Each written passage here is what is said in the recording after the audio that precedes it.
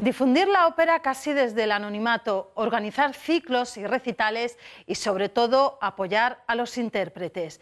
Este es y fue el objetivo de un grupo de apasionados de la ópera que desde hace 50 años mantienen el espíritu de este género en Madrid.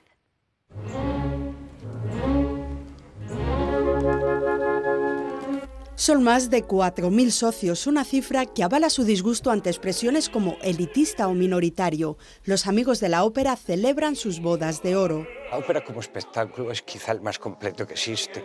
Aúna la voz, la música, la escena, el teatro, el ballet en algunos casos.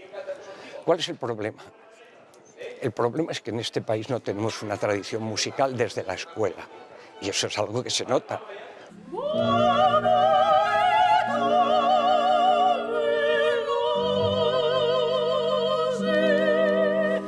17 cantantes suben al escenario para conmemorar 50 años de conferencias, ciclos, publicaciones y sobre todo apoyo y difusión de jóvenes intérpretes. Lo que hacemos es utilizamos el aire de una manera diferente. Nosotros subimos más el aire hacia, hacia los resonadores, hacia la cabeza, ¿no? en vez de dejarla en una zona más central como hacen otro tipo de cantantes. ¿no?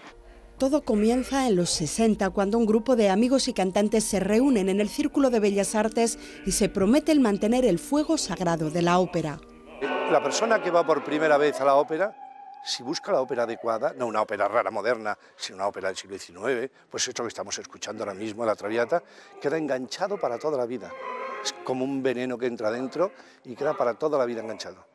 No había ópera en Madrid y por eso se creó esta asociación hace 50 años. La primera representación fue Tosca aquí en el Teatro de la Zarzuela y desde entonces siempre ha habido funciones de este género en la ciudad.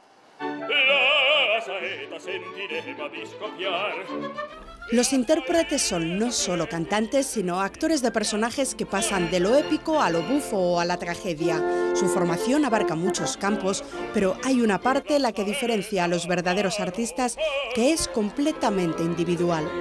creo que hay grandes cantantes que a lo mejor no tienen una gran capacidad de comunicación con el público entonces son estupendos, muy correctos, pero no consiguen ese punto de magia. Y sin embargo hay otros cantantes a lo mejor con no tan buenas voces o con una técnica no tan perfecta que sí consiguen comunicar eh, bien con el público. Tienes que tener una buena intuición de cómo hacer las cosas, ligado, llevado una buena preparación también técnica. Eso te lo dan los años, la evolución como persona sobre todo, el físico, que a veces no acompaña, pero la voz es algo sobrenatural.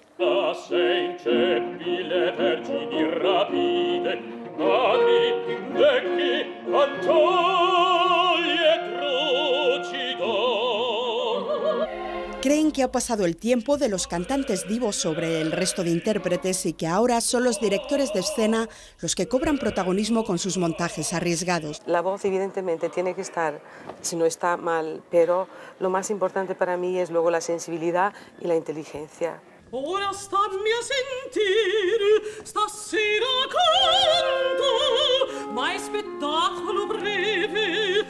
El Teatro Real es la sede de los espectáculos líricos en Madrid, pero según los aficionados, la ópera pertenece a todos aquellos que la sienten.